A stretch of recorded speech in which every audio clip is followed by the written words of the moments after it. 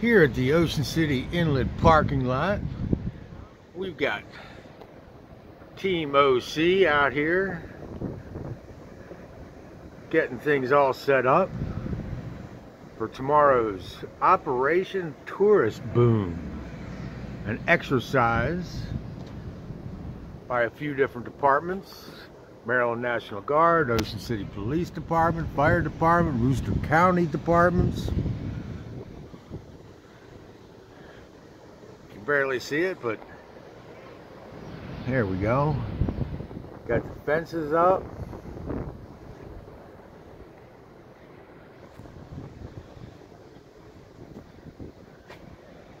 We got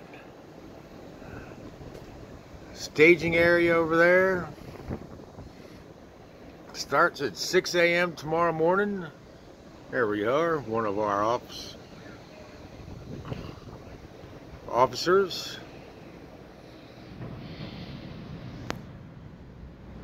Tomorrow morning, the inlet out is closed, of course, today and tomorrow.